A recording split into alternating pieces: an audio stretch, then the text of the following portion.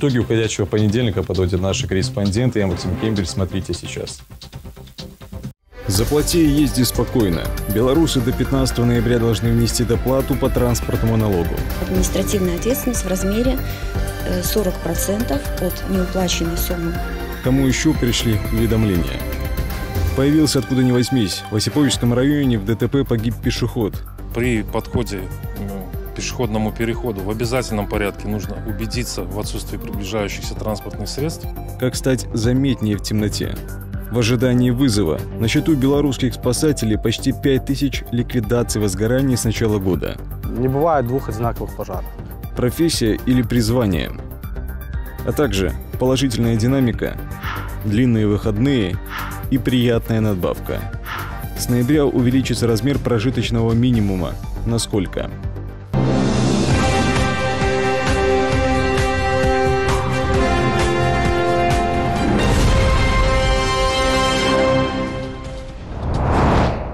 Серьезные ожидания сотрудничества. Президент провел совещание по вопросам экономики.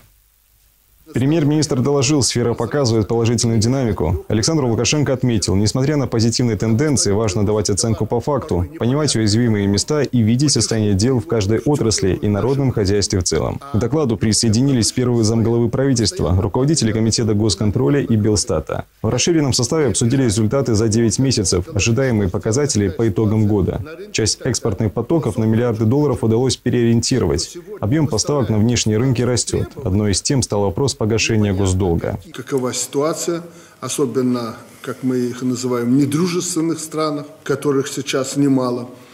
И мое поручение было здесь однозначным, оно должно быть выполнено. Мы, надежные плательщики, мы готовы платить по своим долгам, тем более Западу мы э, немного должны, но они отказались принимать валюту из Беларуси. Ну хорошо, Тогда мы им предложили белорусский рубль. Они тоже отказались, правильно? Поэтому было мое поручение, что по долгам надо платить, но в белорусских рублях мы на отдельные счета зачисляем эти платежи. Созреют для того, чтобы мы с ними рассчитались? Ради Бога. Ну, не созреют, ну так что ж. Экономика страны должна получить отдачу от реализации проектов по линии Госвоенпрома. Серьезные ожидания сотрудничества с Россией. Тем более, что есть финансовая подпитка от нашего партнера на полтора миллиарда долларов. Александр Лукашенко намерен встретиться с Владимиром Путиным в ближайшее время. Темная фигура. В Осиповичском районе в ДТП погиб пешеход. Трагедия случилась в субботу около 7 утра на 98-м километре дороги Минск-Гомель. 35-летний житель Бобруйского района совершил наезд на мужчину, который пересекал проезжую часть в неположенном месте. Тот получил травмы, несовместимые с жизнью. Обстоятельства аварии устанавливаются. Известно, что пешеход был без фликера. При подходе к пешеходному переходу в обязательном порядке нужно убедиться в отсутствии приближающихся транспортных средств. А если эти транспортные средства есть, то убедиться в том, что водитель э, вас видит. Хотелось бы обратиться к родителям наших несовершеннолетних. Сейчас э, каникулярный период времени. До 7 ноября будут э, детские школьные каникулы, поэтому э, контроль, контроль, контроль. Обязательное использование детьми световозвращающих элементов.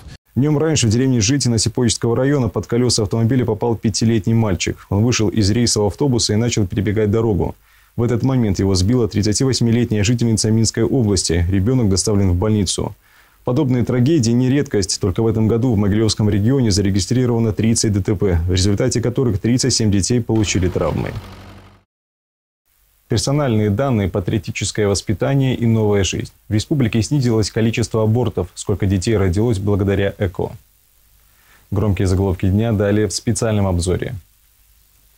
С ноября вырастут детские пособия и надбавки к пенсиям. Увеличится размер прожиточного минимума. На одного человека сумма составит 339 рублей 83 копейки. Это почти на 3,5% выше прежних выплат. Социальная поддержка всегда остается в числе приоритетов государственной политики.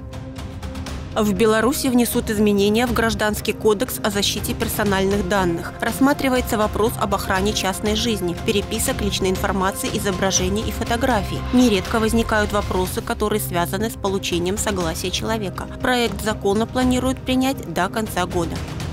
В республике снизилось количество абортов. Также за 2021 выполнено более 50 операций, которые помогли спасти жизни малышам. Сейчас востребовано и ЭКО. В нашей стране первая попытка бесплатна. За полгода ей воспользовались более 1200 пар. В целом за 20 лет таким способом родилось свыше 10 тысяч детей. Конце недели белорусов ждут длинные выходные с 5 по 7 ноября. На день Октябрьской революции БелЖД назначила 40 дополнительных поездов по самым популярным маршрутам внутри страны, в том числе из Минска в Гомель, Брест, Витебск, Гродно, Могилев, Пинск, Коммунары. Также составы отправятся в Москву и Санкт-Петербург. В год исторической памяти в Беларуси создали 17 военно-патриотических клубов для детей на базе воинских подразделений МВД, Минобороны и Погранкомитета. Особый акцент на поисково-исследовательскую деятельность. Молодые люди учатся оказывать первую медицинскую помощь, знакомятся с оружием и обучаются рукопашному бою. Сроки поджимают. Для оплаты транспортного налога остается чуть больше двух недель. За 9 месяцев в бюджет Могилевской области поступило 12 миллионов 300 тысяч рублей. Из них большая половина от организации, остальное от физических лиц. Уведомление можно посмотреть в личном кабинете мобильного приложения МНС или на официальном сайте. Дедлайн 15 ноября. Если э, будет установлена э, несвоевременная уплата, либо неуплата налогов после установленного срока, предусмотрена административная ответственность в размере 40% от неуплаченной суммы налога, но не менее 10 базовых величин. Те же сроки и условия касаются и уплаты имущественных платежей. Правда, в этом году есть изменения. Если раньше уведомления приходили только тем, у кого две и более квартиры в собственности, то теперь это относится и к тем, у кого одна жилплощадь.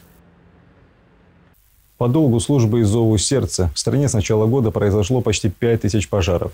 И каждая из них тревожный вызов для спасателей – есть ли угроза жизни и сколько звеньев понадобится, вариант «не успеть» не рассматривается. Помимо беспощадного огня, аварии, поваленные деревья и паводки. О буднях героев Карина Гуревич.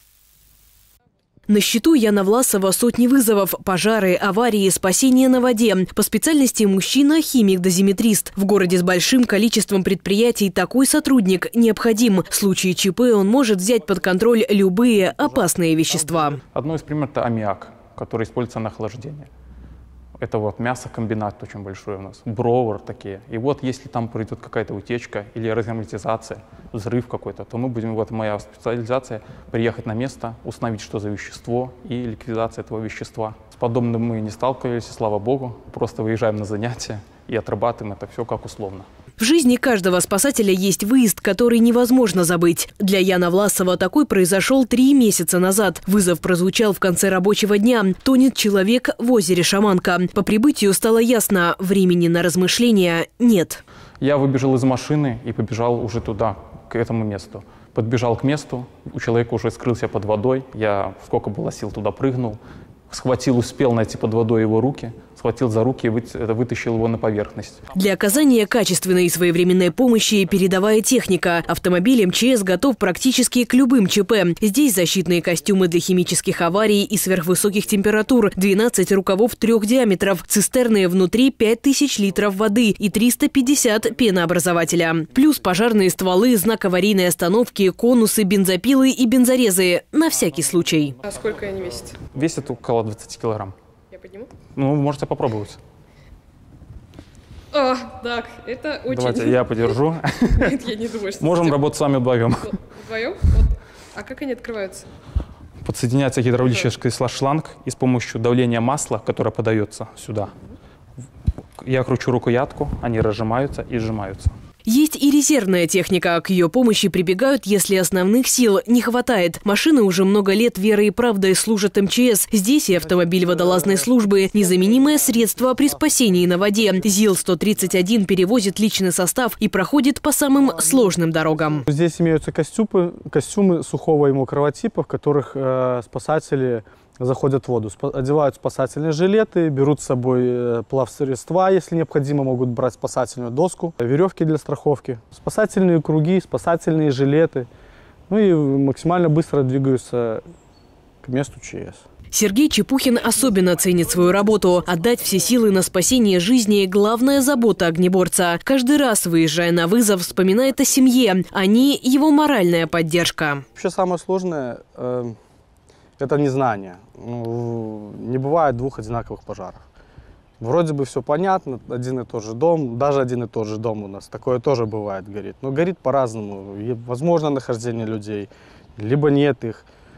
Плотность дыма, то есть то, что ты вообще визуально можешь даже не понимать, что происходит. Необузданная стихия порой сметает все на своем пути. Полагаться здесь только на себя не получится. Командная работа, доверие и почти братская связь помогает героям без плащей спасать жизни и самим возвращаться домой. Карина Гуревич, Дмитрий Шевцов, Бобруйск, 360. От прошлого к будущему в Аграрно-экономическом колледже реализуют проект «Году исторической памяти». В музейной комнате проходят экскурсии и семинары. Здесь собраны фронтовые письма, медали и газеты, датированные 1944 -м. Плюс есть предметы народного быта и макет памятника архитектуры стиля эклектика, бывший городской особняк 1912 который включен в список историко-культурных ценностей Беларуси. Все мероприятия, которые проводятся в рамках проекта, посвящены э, историческим событиям Великой Отечественной войны, э, геноциду белорусского народа. В мини-музее еженедельно проходят и литературные чтения со школьниками. Помощь где размещена подробная информация про белорусских поэтов и писателей. Главный посыл – сохранить и приумножить память о выдающихся людях и героях Великой Отечественной. Это все и события к этой минуте. Смотрите нас в интернете и соцсетях. Мы в эфире каждый будний вечер. Счастливо.